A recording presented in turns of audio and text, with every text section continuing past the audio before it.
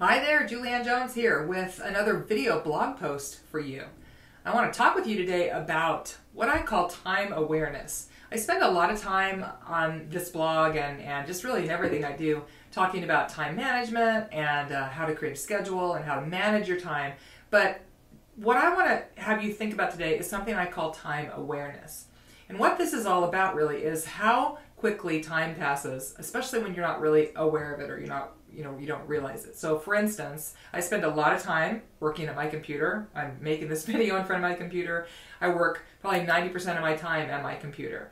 And what I've noticed since, you know, 15 years ago when I started using a computer and working at a computer is I can definitely lose track of time when I'm working on my computer. It doesn't really matter what I'm doing, but especially if I happen to be like really like focused on a on a project and you know I'm I'm creating something or I'm editing something.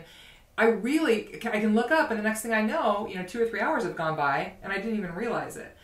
And so what I love to do in order to sort of combat that or, or to help myself be more aware of the passing of time during the day is to set some type of alarm so that I have to become aware of the time periodically throughout the day. So when I when I sort of um, realized this was years ago when I got my very first Mac, almost 20 years ago, and it had this feature that actually came standard on the Mac. You had to turn it off if you didn't want it.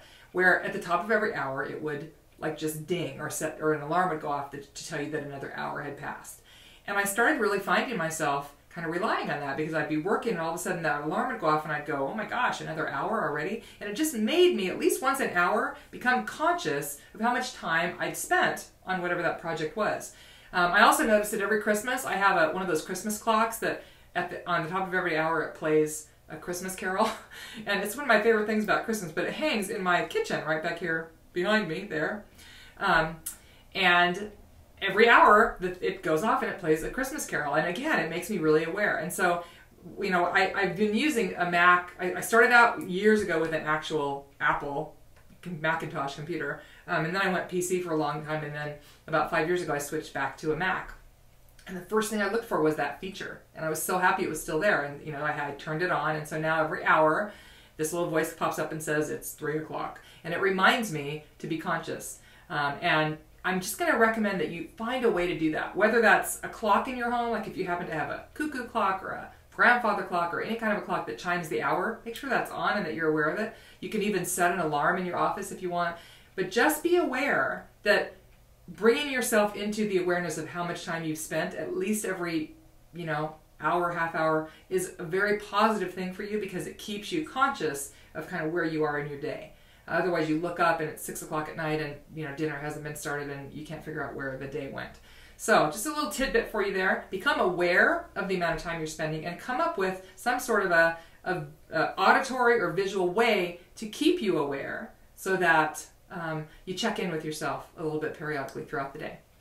Speaking of checking in, I hope that we're connected out here in the social media world. Whether you're watching this on my website, on YouTube, on Facebook, or some other uh, social media site, I'm really thrilled that you're here. Um, make sure that we are connected, and all those buttons are either below the video or above it, depending on where you're, you're looking at it. But you can find those on this page somewhere, and uh, you know, let's go like my fan page. You can participate in the video Q&A Monday there. Uh, make sure that we're connected on Pinterest and Twitter and LinkedIn and, and Instagram and here on the website too. If you're not a part of my mailing list, there's a link um, below this, this video that will allow you to go join that list. And when you do that, you actually get an awesome free report that I wrote on getting bookings, a, booking blueprint, so to speak, or roadmap, actually, I guess it is.